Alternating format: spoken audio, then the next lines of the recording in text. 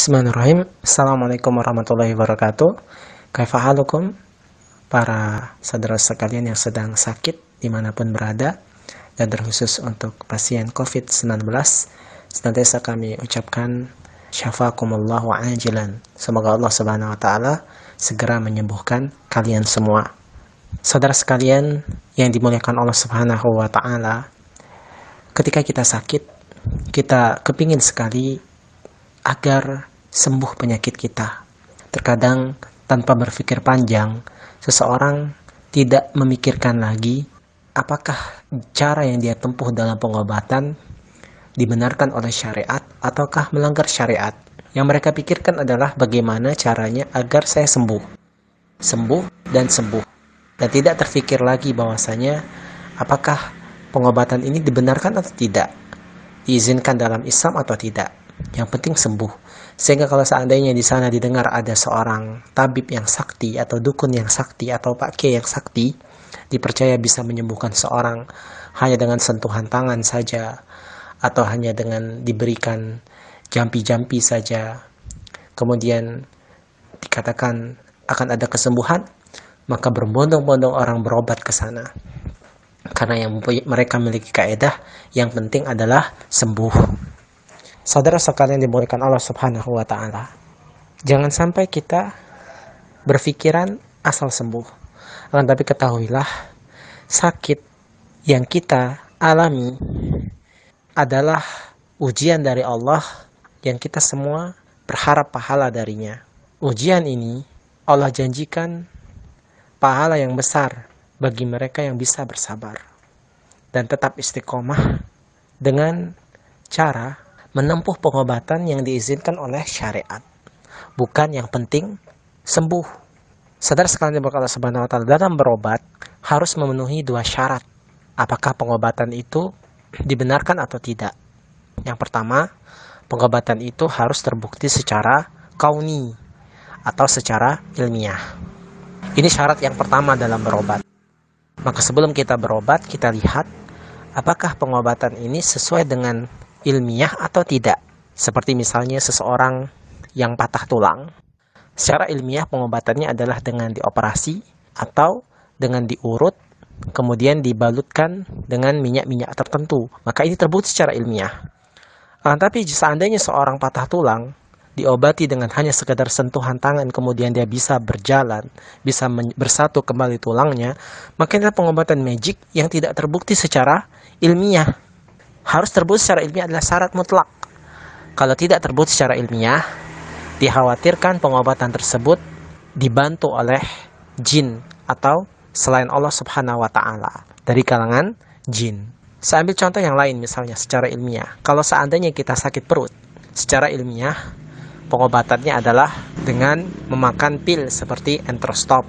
Itu menurut secara obat kimia dan secara herbal adalah dengan meminum rebusan daun daun jambu. Ini adalah bentuk pengobatan yang terbukti secara ilmiah. Nah, tapi kalau seandainya ada orang sakit perut dengan cara diobati yaitu minum air rendaman batu tertentu, maka mana mana buktinya secara ilmiah bahwasanya batu ini bisa menyembuhkan penyakit?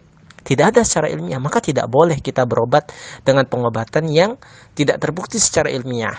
Karena dikhawatirkan kita bergantung kepada sesuatu yang tidak bisa memberikan manfaat dan tidak bisa menolak madorot. Maka batu secara logis kok bisa dia ngobatin? Mana buktinya secara ilmiah batu ini kalau direndam di air dia bisa mengobati sakit perut?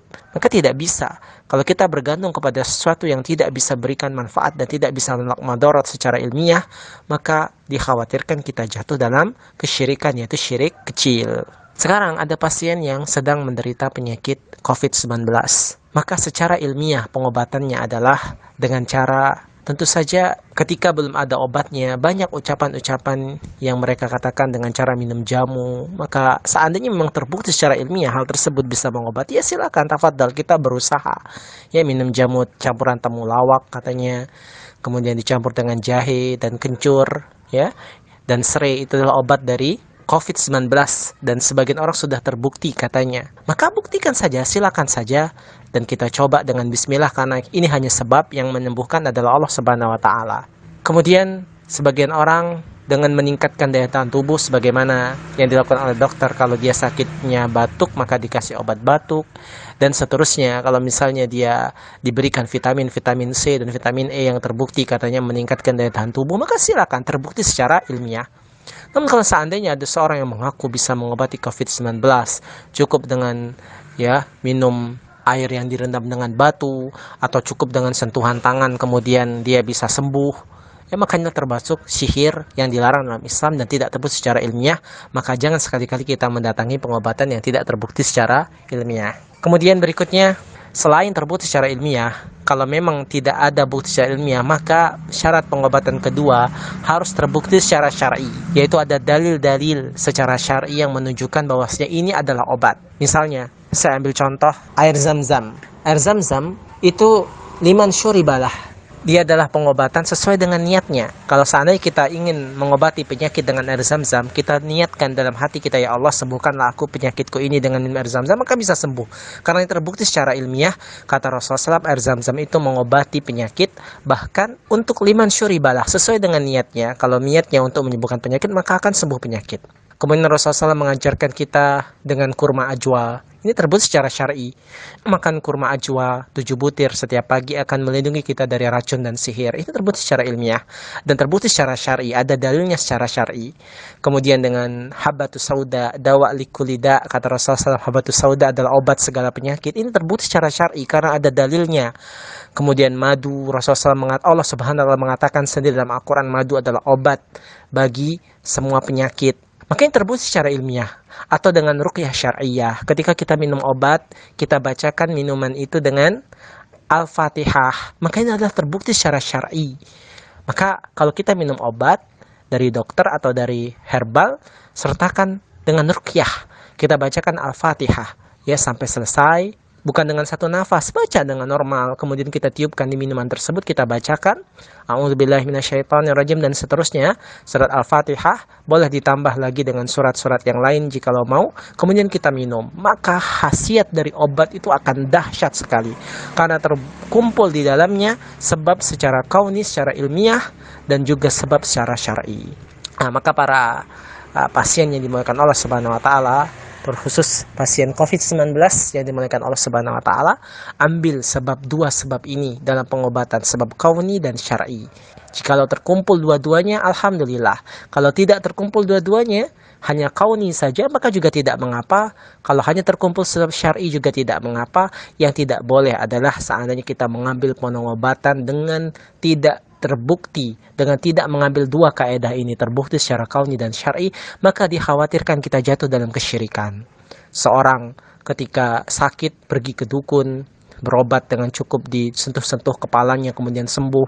Ini adalah suatu magic atau sihir yang dilarang dalam Islam karena tidak terbukti secara kauni secara ilmiah tidak terbukti. Yang kedua, tidak terbukti secara syar'i karena tidak ada ruqyah syariah dengan model dijampi-jampi, disembur-sembur atau kemudian dipegang-pegang kemudian langsung sembuh. Tidak ada. Tidak ada yang model seperti itu. Tidak bisa pengobatan dengan model magic. Semuanya harus terbukti secara kauni dan syar'i. Tapi mungkin ini saja dapat disampaikan. Mudah-mudahan bermanfaat. Ingat dua hal ini dalam kesembuhan dari Allah Subhanahu wa taala. Kita akhir sampai sini. Assalamualaikum warahmatullahi wabarakatuh.